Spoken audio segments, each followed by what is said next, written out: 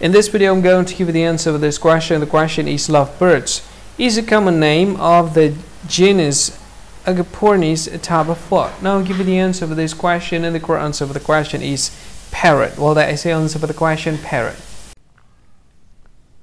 Hi, thank you so much for watching this video. If you find this video is very useful, you can help this channel to grow by subscribing this channel. Please this subscribe button and don't forget to like this video.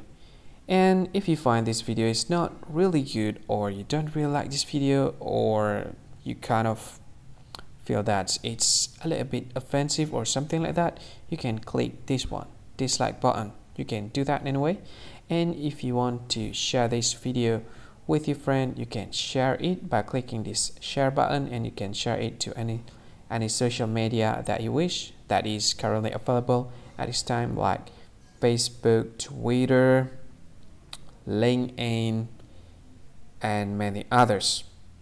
Right? And if you want to add this video to your playlist, you can click this one. You can watch this video later and you can find more options by clicking these three dots. And yeah, don't forget to subscribe. I think that's all of it. Thank you so much for watching this video and see you again in another video. Bye bye. See you again.